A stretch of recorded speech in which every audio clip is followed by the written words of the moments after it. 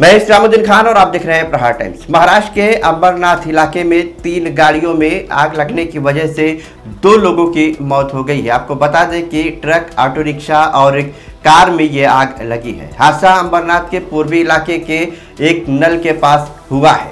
Traffic विभाग के DCP बाला साहेब पाटिल ने बताया है कि अंबरनाथ से स्टील की तरफ़ तरल गंधक लोड करके ये ट्रक जा रहा था, मगर ढलान पर तकनीकी खराबी होने के कारण ये ट्रक पीछे की तरफ़ अचानक आने लगा और ऑटो रिक्शा से टकरा गया। टक्कर होने की वजह से ऑटो रिक्शा में रखे ईंधन सिलेंडर में ब्लास्ट हो गया और आग लग गई।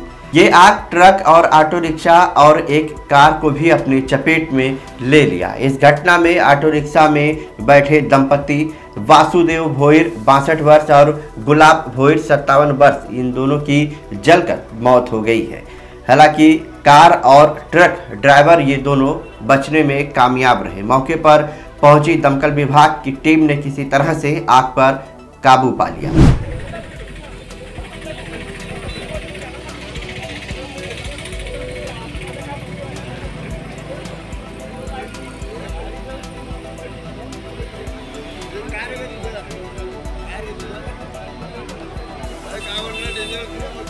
गाडी का